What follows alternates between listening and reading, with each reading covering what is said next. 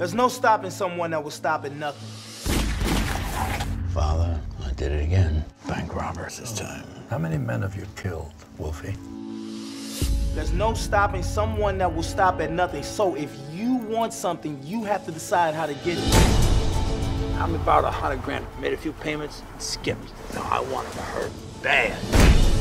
If you're stuck in your job or some stale relationship,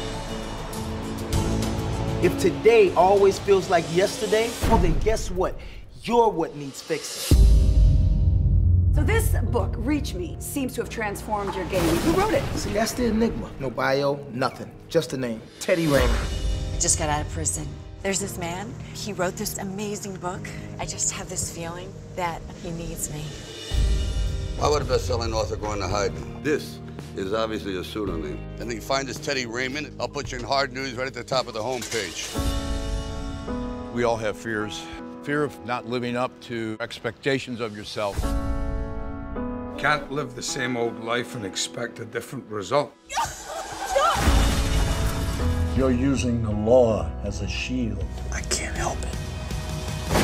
When you're on a mission, nothing else matters. You're a figure painting. Be a masterpiece. Breaking habits aren't that easy. Life isn't that easy. How many people do you have to kill before you realize it's wrong? Don't you think I want to work for Frank all my life? I've been trying to get my face a sphere for a long time. Courage means moving forward in spite of your fear. Are you staring at my lip? Yeah, I was thinking about how soft it felt when you kissed me.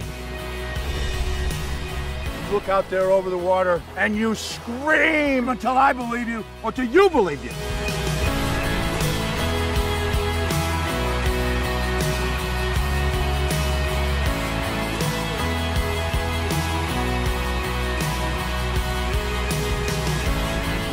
A man is only as good as his word. You hear me? Yeah, I hear you.